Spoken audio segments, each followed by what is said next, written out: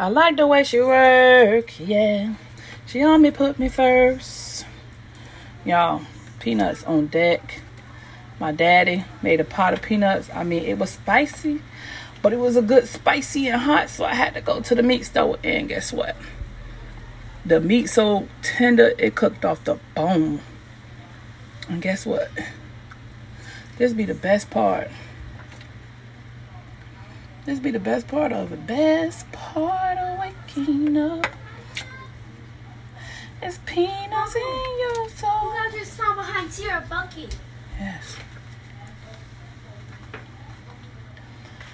Oh my God. This thing right here, if it could have been only bigger, I could have put my um second bag of peanuts in here. But I couldn't because y'all, guess what?